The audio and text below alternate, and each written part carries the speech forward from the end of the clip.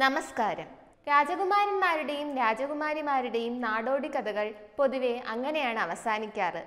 ദുർമന്ത്രവാദികളും കൊട്ടാരങ്ങളിലെ നിയമാവലിയും അധികാര തർക്കവും തെറ്റിദ്ധാരണകളും എല്ലാം മാറി രാജകുമാരനും രാജകുമാരിയും സുഖമായി സന്തോഷമായി ജീവിച്ചു. അങ്ങനെ കേൾക്കുമ്പോൾ വായിക്കുമ്പോൾ ഒരു രസമാണ് ഒരു സുഖമാണ്.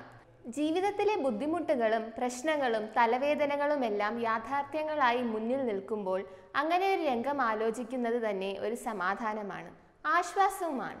വലിയ കൊട്ടാരം ഏത് ആജ്ഞയും ശിരസാവഹിക്കാൻ നിറയെ പരിചാരകർ നിറയെ ഉടുപ്പുകളും ആഭരണങ്ങളും ആഡംബരം നിറഞ്ഞ ജീവിതം സ്വപ്നങ്ങൾക്ക് ഇത്രയേറെ നിറം പകരുന്ന വേറൊരു പശ്ചാത്തലമില്ല.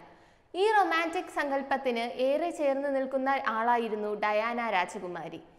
പേളും ലേസും ഭംഗി കൂട്ടുന്ന വെള്ള ഗൗണിൽ നാനൂറ്റി അൻപത് അടി നീളത്തിൽ പടവുകളിൽ വിതറിക്കിടന്ന ശിരോവസ്ത്രത്തിന്റെ അകമ്പടിയിൽ ചാൾസ് രാജകുമാരനോട് യെസ് ഐ ഡു എന്ന് പറയാനെത്തിയ ഡയാന ബ്രിട്ടീഷ് രാജകുടുംബത്തിലേക്ക് മാത്രമല്ല വന്നു കയറിയത്. മറിച്ച് ലോകത്താകെ ലക്ഷക്കണക്കിന് പേരുടെ സ്വപ്ന നായിക കൂടിയായിട്ടാണ്.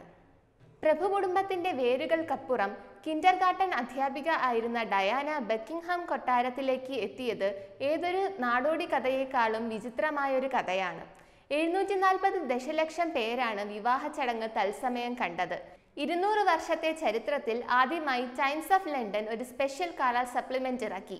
ചാൾസ് ഡയാന വിവാഹം നൂറ്റാണ്ടിന്റെ വിവാഹം എന്നറിയപ്പെട്ടത് അതിന്റെ ഫെയറി ടെയിൽ സ്വഭാവം കൊണ്ടാണ്. സ്വപ്നങ്ങളിലെ കൊട്ടാരങ്ങളിൽ രാജകുമാരിയായി വിലസിയവർക്ക് മുന്നിൽ വെക്കാനുള്ള മുഖമായി ഡയാന. കൊട്ടാര നിയമങ്ങളുടെ നിയന്ത്രണങ്ങൾക്കിടയിലും ആളുകളോട് ചിരിക്കാനും മനസ്സലിവോടെ പെരുമാറാനും മടി കാണിക്കാതിരുന്ന സുന്ദരി രാജകുമാരി ലോകത്തിന്റെ തന്നെ പ്രിയങ്കരിയായി. രാജകുടുംബത്തിൽ ജനിച്ചു വളർന്നവരെക്കാളും ജനപ്രീതിയും ആരാധകരും വന്നു കയറിയ രാജകുമാരിക്കായി. ആ സ്വപ്നം ആ മായിക ബിംബം വർഷങ്ങൾക്കിപ്പുറം നിറകണ്ണുകളോടെ വേദനകൾ പറഞ്ഞപ്പോഴും ഇടത് കൈയിലെ മോതിര വിരലിൽ നിന്ന് പ്രസിദ്ധമായ നീലക്കല്ല് പതിച്ച വിവാഹമോതിരം ഊരിവെച്ചപ്പോഴും ലോകം അവൾക്കൊപ്പം നിന്നു. അതിവേഗത്തിൽ പാഞ്ഞ കാറിന്റെ താളം തെറ്റിയ ചക്രത്തിനൊപ്പം എത്തിയ ദുരന്തം ആ ജീവനെടുത്തപ്പോൾ ലോകം കരഞ്ഞു. കാറ്റത്താടിയ മെഴുകുതിരി നാളത്തെ ഓർത്ത് എൽട്ടൻ ജോൺ തേങ്ങിപ്പാടി. കൊട്ടാരത്തിന്റെ വലിയ ഗേറ്റ് കടന്ന് പുറത്തു വന്ന് ബ്രിട്ടന്റെ രാജ്ഞിയും മറ്റ് രാജകുടുംബാംഗങ്ങളും അവളെ വഹിച്ചുള്ള പേടകത്തിന് മുന്നിൽ തല താഴ്ത്തി. ജനങ്ങളുടെ രാജകുമാരിയായിരുന്നു ഡയാന. ജീവിച്ചപ്പോഴും മരിച്ചപ്പോഴും അവളുടെ അന്ത്യയാത്ര കാണാൻ ലോകത്തിന്റെ വിവിധ കോണുകളിലായി കോടിക്കണക്കിന് പേർ ടെലിവിഷന് മുന്നിലെത്തി. നാൽപ്പത്തിനാല് ഭാഷകളിലായി ഇരുന്നൂറ് രാജ്യങ്ങളിൽ ഡയാനയുടെ അന്ത്യയാത്രയും സംസ്കാരവും സംപ്രേഷണം ചെയ്തു.